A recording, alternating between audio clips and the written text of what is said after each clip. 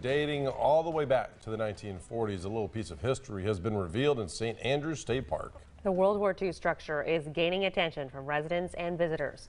As News 13's Megan Myers tells us, it only became fully visible recently. It's a site that's hard to miss in St. Andrews State Park. It's excellent, yeah. I'm always looking for pictures to take. For longtime Panama City Beach visitor Kitch Millard, that hasn't always been the case.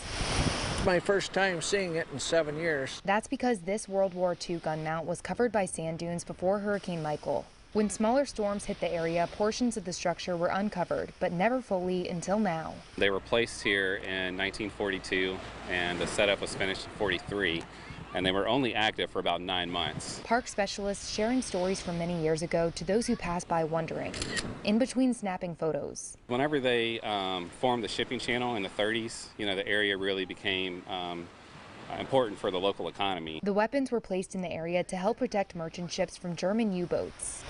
Beachgoers arriving to the location and getting a glimpse into the area's past. It's awesome. Megan Myers, News 13, Panhandle Strong.